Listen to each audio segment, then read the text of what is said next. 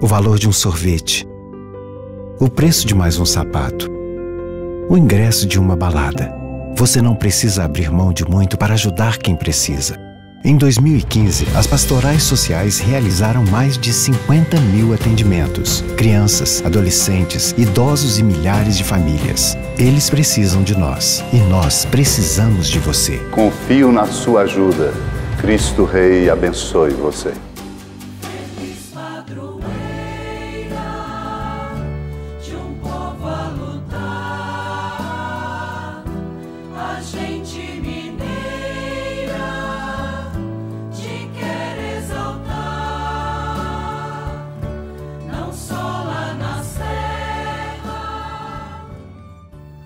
Amado irmão, amada irmã, saúde e paz.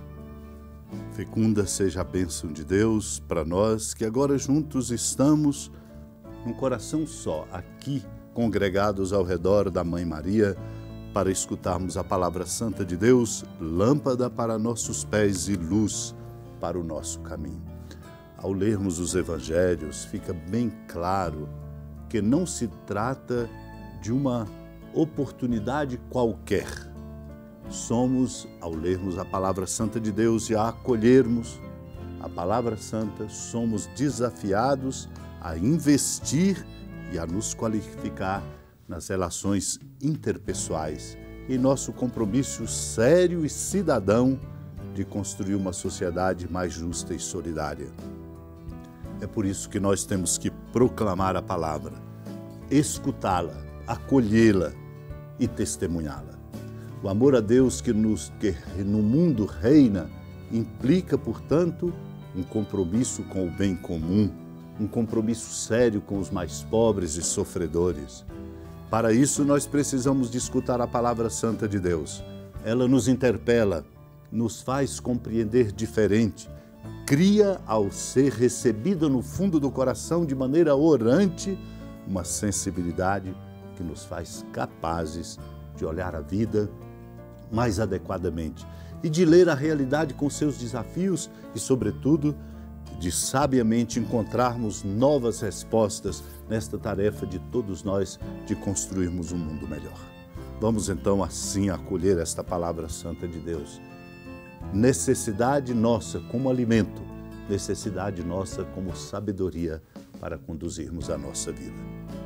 Naquele tempo disse Jesus: Se algum de vós tem um empregado que trabalha a terra ou cuida dos animais, por acaso vai dizer-lhe quando ele volta do campo: Vem depressa para a mesa? Pelo contrário, não vai dizer ao empregado: Prepara-me o jantar, singe-te e serve-me, enquanto eu como e bebo. Depois disso, tu poderás comer e beber? Será que vai agradecer ao empregado porque fez o que ele havia mandado?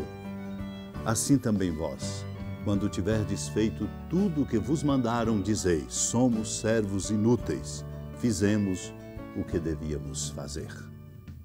Amado irmão, amada irmã, o Senhor dialoga para nos ajudar a compreender o caminho da elaboração e da manutenção de uma consciência clara a respeito da nossa condição e da nossa responsabilidade ao tomar a referência a um empregado que trabalha a terra, cuida dos animais, ele está exatamente mostrando-nos um exemplo da nossa condição.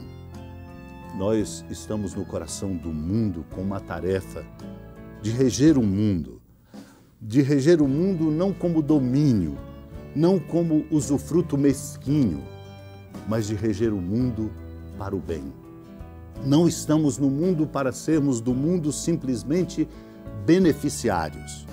Ora, esta concepção alarga de maneira desastrosa a mesquinhez no coração humano. Portanto, nós todos temos que tomar consciência da nossa competência, do nosso lugar e da nossa responsabilidade. E não esperar, ao voltarmos do trabalho, porque precisamos trabalhar, precisamos trabalhar mais, inclusive ajudar a nossa cultura a ser uma cultura de homens e mulheres que trabalham mais, pois sabemos que existem culturas que fazem aquilo que fazemos com menos pessoas. porque precisamos trabalhar mais. Há sim quem trabalha muito, mas há quem trabalha menos e pode trabalhar mais. Essa consciência é importante e nunca pensar e esperar que o Senhor, a quem servimos, vai dizer: vem depressa para a mesa. Pelo contrário, nós temos que labutar continuamente pelo bem, pela justiça. Aqui, é claro, amado e amada de Deus, não está comprometido o repouso a que temos direito e que é uma necessidade, inclusive para estarmos em condições de trabalhar mais. Mas é exatamente para que não percamos o sentido desta consciência que devemos ter. Somos servos, somos simplesmente servos. Por isso, aquele que nos dá a tarefa de construir, de trabalhar, não vai nos dizer quando voltarmos do trabalho, prepara-me o jantar, singe-te e serve-me, enquanto eu como e bebo. Depois tu poderás comer e beber. É assim que será. Pois nós somos servos. Essa é a consciência que nós temos que ter. Não podemos simplesmente pensar que nós somos os destinatários dos bens e dos serviços. Somos todos, em tudo, com toda simplicidade, servidores uns dos outros. Esse é o desafio enorme que nos é posto. Aquele que nos chama não vai nos agradecer por aquilo que nós fizemos. Nós temos que fazer aquilo que nos é mandado fazer. Por isso o Senhor pergunta: será que vai agradecer ao empregado porque fez o que havia mandado? devemos presidir a nossa vida com essa consciência simples e bonita, fonte de serenidade e de alegria duradoura. Somos servos inúteis, que eu traduzo, somos simplesmente servos. Fizemos o que devíamos fazer. Se essa consciência toma conta de cada um de nós, dos governantes, dos formadores de opinião, dos construtores da sociedade, de mim, de você, de todos nós, somos simples servos. Nós deporemos de nosso coração projetos de poder, ganâncias, tudo aquilo que nos faz tantas coisas fazer que estão na contramão da verdade, do bem e do amor. Se somos todos simplesmente servos, seremos grandes trabalhadores. O importante é o bem que se pode promover. Deus nos ajude a crescer nessa consciência para mudarmos muito na nossa cultura e no contexto da nossa sociedade. Que brilhe em nossos corações e na nossa consciência como luz. Somos simples servos. Vamos pedir a Deus esta graça.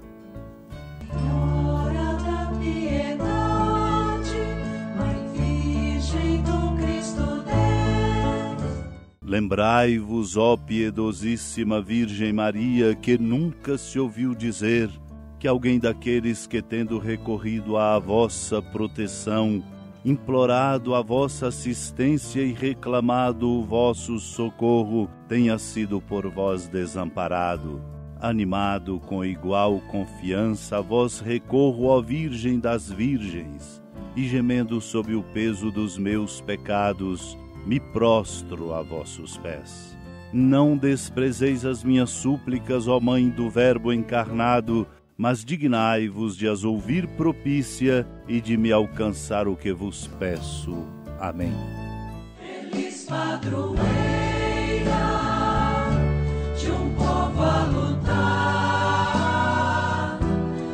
a gente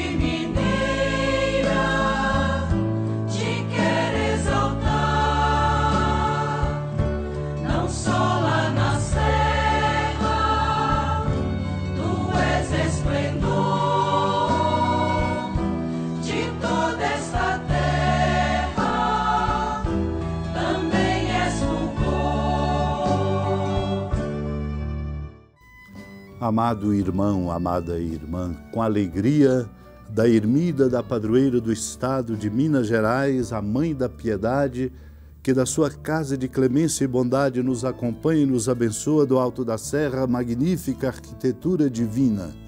A bênção de Deus, amor misericordioso, Pai, Filho e Espírito Santo desça sobre sua família, sustente e proteja sua vida, fecunde o caminho missionário de nossa igreja, nos encha de sabedoria e permaneça conosco para sempre. Amém. Feliz padroeiro.